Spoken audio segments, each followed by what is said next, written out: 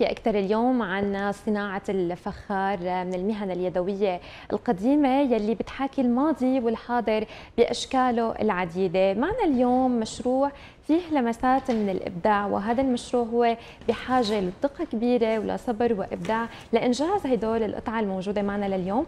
خلوني رحب بضيفنا اللي صار معنا ضمن الاستوديو شيخ الكار نبيل علي. أهلا وسهلا صباح الخير. أهلا وسهلا فيكم.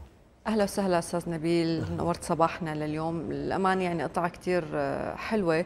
ورجعتنا هيك بقطع موجودة لأيام الماضي يعني حلوة.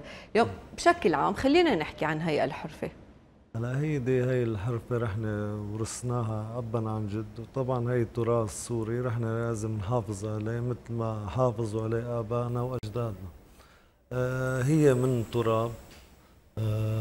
بنجيب آه من كدر الجبلي أو من أطراف الأنهار أو من باطن الأرض. وفي من البركاني الكدر البركاني هذا اللي بيقولوا له البيلون نحن في مكانات بنطحنه وكذا وإلى آخره. بنخمر العجينة وبنشتغل الشكل اللي منا اياه يمكن الناس اليوم بتشوف الشكل النهائي للقطعة الموجودة اليوم من الفخار ولكن هن ما بيعرفوا قد هي يمكن بحاجة لوقت كبير لصبر لجهد. خبرنا اليوم شو هي المواد الأساسية اللي بتستخدمها اليوم بصناعة أي قطعة؟ هلا هي مثل ما حكينا هي تراب عدة ألوان في تراب الأسود في البركاني في التراب الجبلي في من أطراف الأنهار بيجي أبيض أصفر أحمر. طبعا هو كله بنخلطه بيساعدنا يا الشغل. آه فبنعمل العجنة بنطحنها بعد ما نخمرها وبنعجنها بنحط بالماء طبعا وبنخمرها وبنشتغل الشكل المناية عدة مراحل طبعا. طيب أستاذ نبيل قد إيه لك بهي المهنة أو بهي الحرفه كونه عم تقول اليوم هي وراثة عن الأب. هلا صار لي تقريبا فيها بين ال 32 35 سنة. عمر اليوم آه يعني عمر. رغم. إنه هي بحاجة لجهد وبحاجة لإبداع يعني ولكن كان عندك إصرار لتكمل رسالة الوالد. طبعا هلا هيدي رحنا فن وأنا معلق هي وفيها أنا وصغير يعني حبيتها وحابب طورها هلا كان أول على زمان أجدادنا وآبائنا ما يشتغلوا هيك فرحنا طورناها ضفنا كثير أشياء. بالفخار عملنا التركان. أول ما في صحن طنجرة ابريق جرة هيك. بس هلا رح طورنا أحواض زريعة الشلالات التماثيل النحت الرسم حتى ضفع منا الايشاني كثير أشياء ضفنا عليها. لجانب يمكن توارث هي المهنة آه، من الأهالي أو من القدماء. اليوم يمكن عالم الفخار هو عالم كثير واسع وكبير. واسع. تمام. ليش اخترت هذا المجال؟ هل هو عن موهبة أو أيضا هو بحاجة يمكن لدراسة وإختصاص بالموضوع؟ خبرنا أكثر هلا هو موهبة ويعني مثل التراث يعني أنا هي حبيت أنا من الصغر. ف آه، مثل موهبه يعني وحابب طورها يعني. هلأ أنا شفت كثير هي ناقصة فأنا كملتها. يا سلام هاي القطعة يعني آه، ما كان في بيت من زمان إلا ما كانت موجودة فيها. قلت لي اليوم حتى اسمها تغير يعني شو صار اسمها هلا هي كانت بعالم بيقولوا لها القلة عالم ابريق عالم جرة. في لها عدة آه، أسامي. فهلا نحن ضفنا الخيش يا مساعد التبريد. هلا إنه بتحفظ اليوم درجة حرارة البرودة يمكن الخيش وقت بنلف على القطع هو الفخار. هلا عالميا هو كل العالم رجعت على الفخار. اكتشفوا إنه هو صحي. آه، وزارة الصحة العالمية أجبرت المطاعم كله يستعمل فخار كونه بيحفظ الحرارة وما في تفاعل بال مثل الحمضة هذا مثل الستيل والالمينو هذا كله مواد مسلطنة. هلا اكتشفوا إنه الفخار هو الصحي وأجبروا المطاعم يستعملوا الفخار. طيب قد إيه بتاخذ هي القطعة وقت من حضرتك؟ وقت جهد؟ آه، هلا رحنا عم نشتغل كله على أصوله مثل ما تعلمناه طبعا. هلا في قطعه بدها أسبوع تطلع مثلا بنشتغلها هي بس مو دغري خلصت. لسه بدها تنشيف بدها مرحلة الفرن يوم أو يومين وفي كثير لها بعد منها في منها حفر في منها رسم.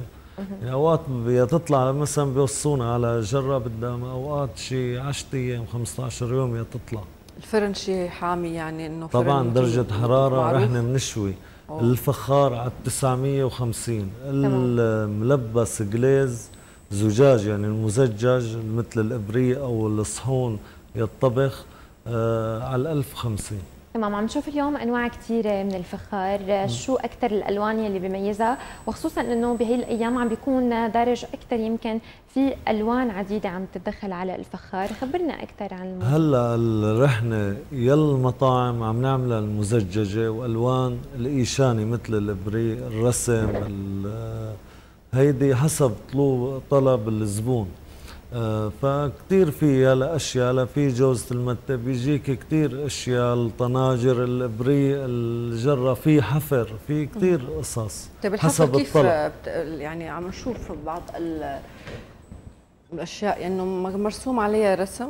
إيه هيدي. بعد ما تدخل الفرن وتتنشف تكون جاهزة؟ إيه طبعا حضرتك بترسم مرحلتين هلأ نحن بنشتغلها. الشوية أول شوية بتطلع فخار بعد منها بنرسمها بنردها من مواد أكاسيد وجليز بنفوتها على الفرن. مرحلة ثانية بتصير مزججة مثل الإيشاني بتطلع على الشكل هذا أو مثله تمام. طيب من وين اليوم تستوحي تصميماتك؟ الأفكار اليوم اللي بتطلع فيها من وين؟ منبعها كيف ممكن اليوم أنت تنجز قطعة آه، بتتابع خلال اليوتيوب أو أشخاص معينة ممكن يقولوا لك إنه آه، تساوي لهم أي قطعة معينة؟ خبرنا عن هي النقطه هلا هي رحنا هي مثل ما قلنا لك هي فن. وطبعا يعني واحد من الطبيعة بياخذ آه، بشوف شكل معين بي بي بيحسن يعملوا على الفخار. في شغلات ما فيك بس اكثرته موهبة يعني.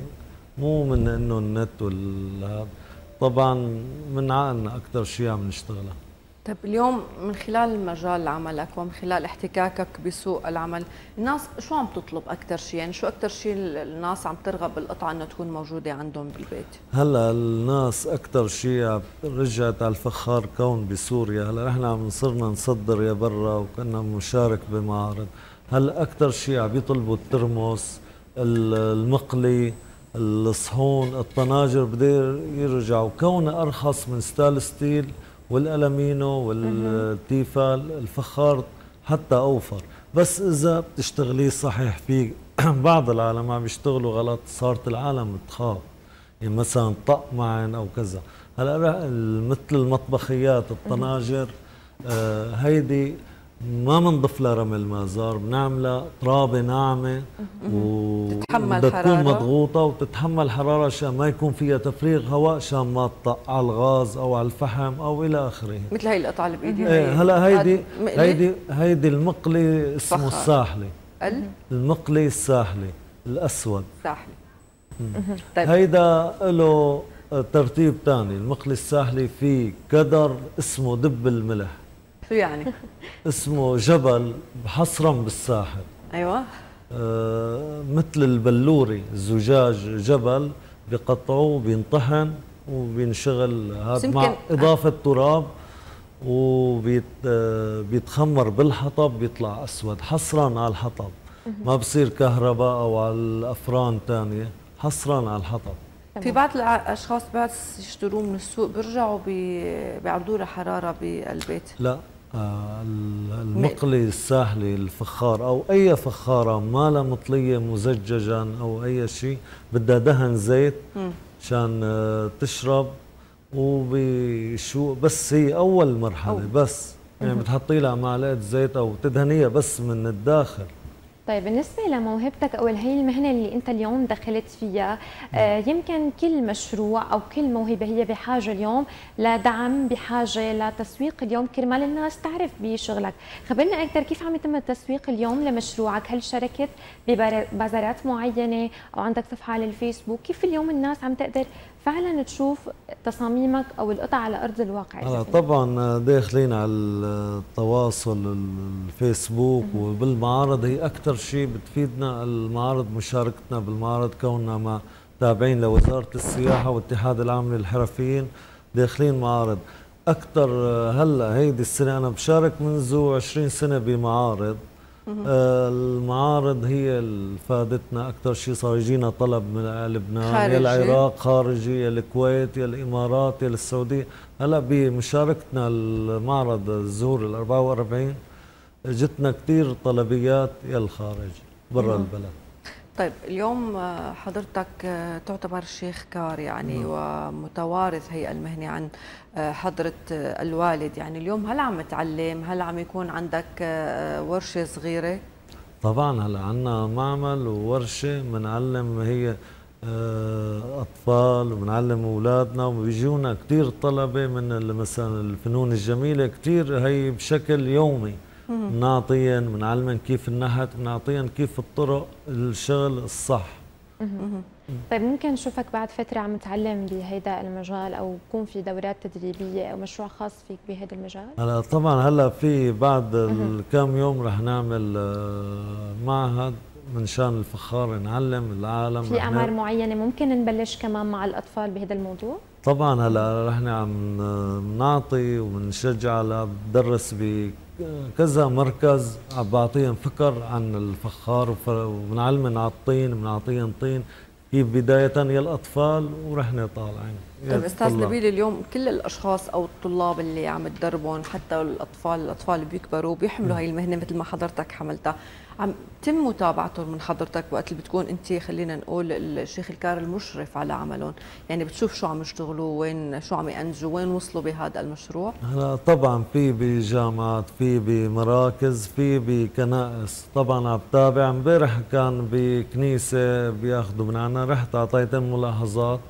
المشرف إنه كيف يعطي الأطفال؟ إنه في أغلاط نبهناهن عليها وصار هذا الشيء تمام. معلومات هيك جدا مهمة اليوم عرفناها من حضرتك عن هي المهنة الجميلة وبدنا نتشكر جميع شيوخ الكار السوريين دائما لحفاظهم على الحرف التراثية القديمة. نحن بنستضيف كثير بصباحنا غير ودائما عندهم إصرار على إحياء هاي إن كان هاي الحرفة أو الحرف الأخرى. يعني شكرا أستاذ لحضورك. نتمنى لك التوفيق. أهلا وسهلا فيك. شكرا لك ولوجودك معنا لليوم. يعطيك العافية. وكل التوفيق والنجاح لك أهلا وسهلا. أهلا وسهلا فيك.